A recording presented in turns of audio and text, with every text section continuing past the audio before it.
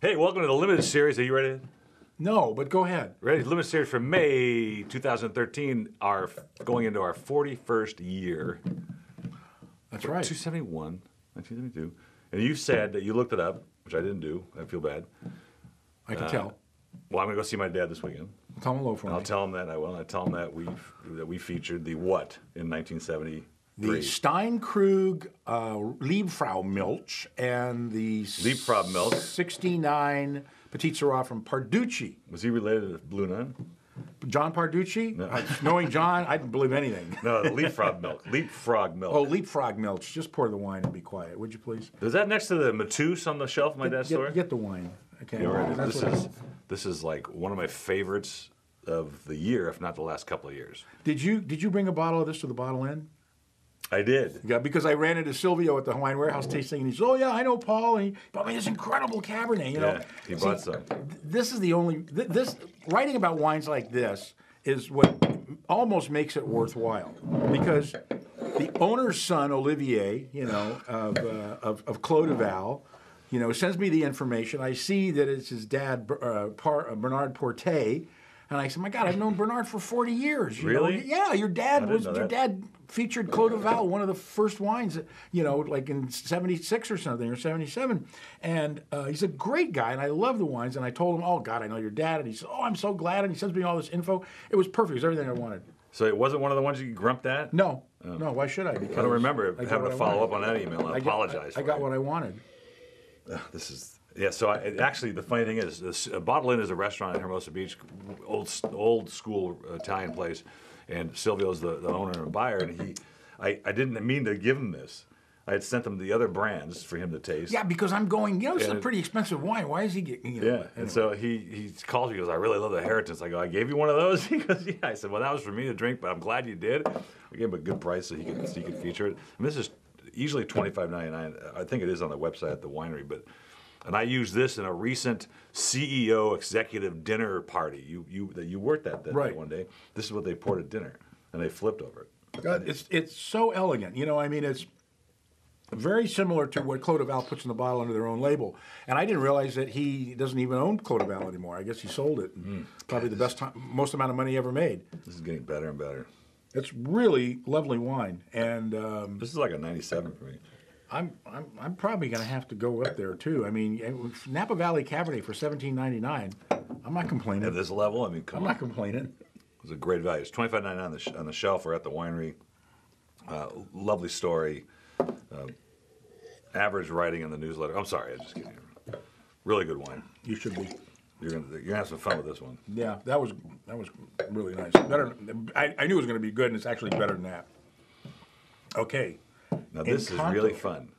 it is. Our friends at Dequino decided that they weren't gonna let the Tuscans get away with super Tuscans. Oh, I know, super Sicilian. So they have a super Sicilia wine, which is basically the same thing. The indigenous, you know, grapes of uh, of uh, actually there's no Nero d'Avola at all. It's Sangiovese and Syrah. yeah, and Merlot. And Cabernet and Merlot. Isn't that funny? I know it's ridiculous, but who cares? The wine's phenomenal. Well, you, know? see, you know, the funny is you see Deguino products all over. You see their coffee at Trader Joe's. You see their olive oils, but they bring in a lot of wines. In fact, he just brought in. Uh, he branded something uh, Sophia Loren or something, or one of those Bridget Bardot or some something. But anyway, I thought this was great value. Terrific. Really good value. Twenty five ninety nine on the shelf, fourteen ninety nine for more. A Sicilian with you don't see a lot of Bordeaux grapes in Sicily, right? You can see Hard- Bordeaux grapes everywhere. I think they're planting them in England now. You know, I mean, everybody wants to jump on the Cabernet bandwagon. But it's really it's it's spectacular. Sicily is right now probably the hottest area in all of Italy. Uh, Well, the Italians don't think it's part of Italy, but the Sicilians do. And anyway, that's another story of conversation. But I think this is just you know the, the, the considering there's five grapes in here, or four, and it's so balanced. I mean, you really don't get one or the other. You get a nice. no, you get a nice, nice, nice amalgam of all kinds of things. And as and yet Ed says, you know, this, the whole is greater than the sum of its parts. Okay, Yeah, yeah, but it's a it's it's it's it's a truism. Sometimes we spout truisms. Mm-hmm. Um, I think this wine's a terrific value too. It's really good value. 2010, barrel aged, 14.99 if you want some more. It's really good. Really fun. I mean, you can really tell your friends at the barbecue or at your dinner, like, this is a super Sicilian. Really, You've probably never seen one before. No, I haven't. But I hope to see one again. And now, the Real Campana de Vinos Blanco. Would you step out of the way before I hit you with the bottle?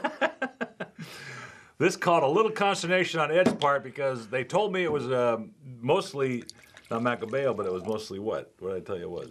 Um, Verdejo. Yeah, Verdejo, right? and it was not Verdejo.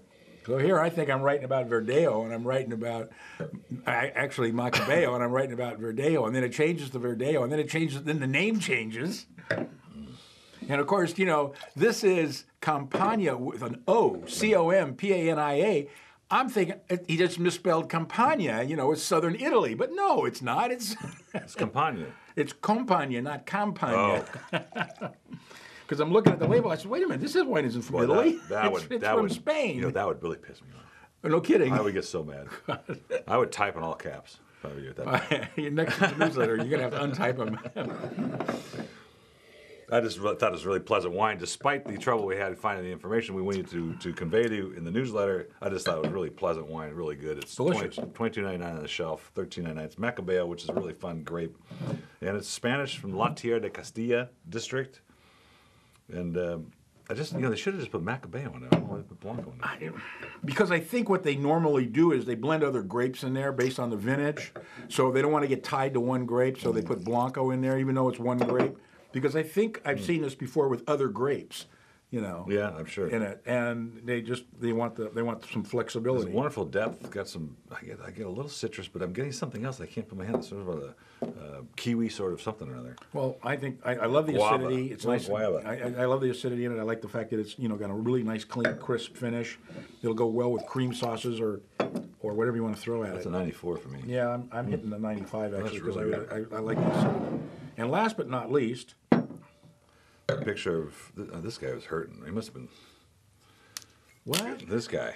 Oh, Whoever he is on the label, whoever the photo, whoever the photo op was You know, for. half the wines we get are really great, and the only reason why I don't sell is because the labels suck. Well,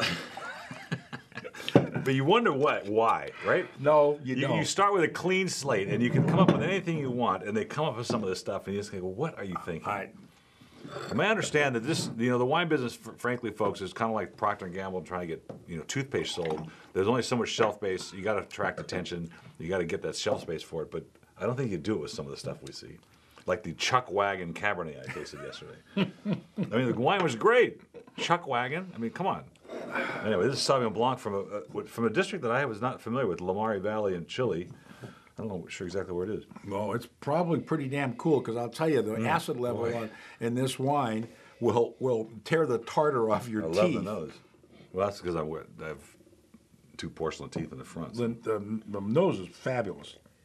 It's very Sauvignon Blanc-ish, Mm-hmm. um, and, and, and it's got a little bit of grassiness, but it's not wet. It's Mm. you know it's freshly mowed. Yeah, but that finish is going on and on. I got Does lemon? I got lemon zest. Yeah, God, I put this in a sauce, you know, with some Chilean sea bass, A lemon chicken with it. fresh if you can. I mean, you know, Oh, yeah, yeah, sea bass would be really such good. a time, and I'm there. You know, well, I'm doing a 95 on that because I think that's also delicious, Mm. and um, It's twenty one ninety nine at the winery. Well, actually not the winery, but uh, on the shelf it's thirteen ninety nine for more. Another great value. Here from the limited series of the of May of 2013. yes, 41 years since the founding of the Wine of the Month Club, the original, Original guy of the Month that actually invented the idea of wine in the mail. Cheers, Dad.